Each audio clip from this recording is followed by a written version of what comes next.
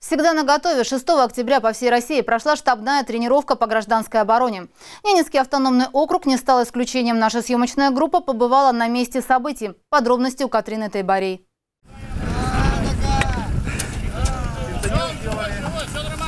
Стоны и крики о помощи доносятся из перевернутой машины в районе реки Питомбой. Вследствие взрыва газовой трубы произошла автокатастрофа. В результате 10 пострадавших, трое погибших. Такова легенда штабных учений МЧС России, которые сегодня проходят по всей стране. Подготовка пожарно-спасательных подразделений, соответственно, это одна из э, основных, так скажем, задач э, э, гражданской обороны и подготовка населения к действиям в нештатных ситуациях.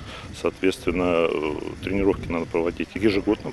Соответственно, это приводит к соответствующему уровню, это приводит к готовности населения и приводит к готовности, соответственно, пожарно-спасательных подразделений для реагирования на возникающие чрезвычайные ситуации.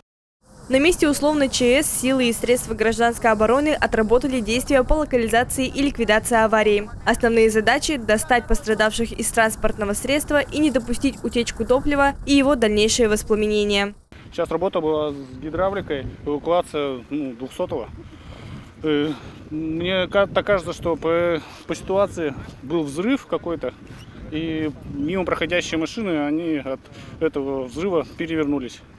Каждый год меняются водные обусловленные чрезвычайные ситуации. Таким образом, отрабатываются все возможные на территории Ненецкого округа виды происшествий. В рамках учений в 2021 году были привлечены волонтеры, которые ранее проходили курс добровольного спасателя. Я была тяжело пострадавшей.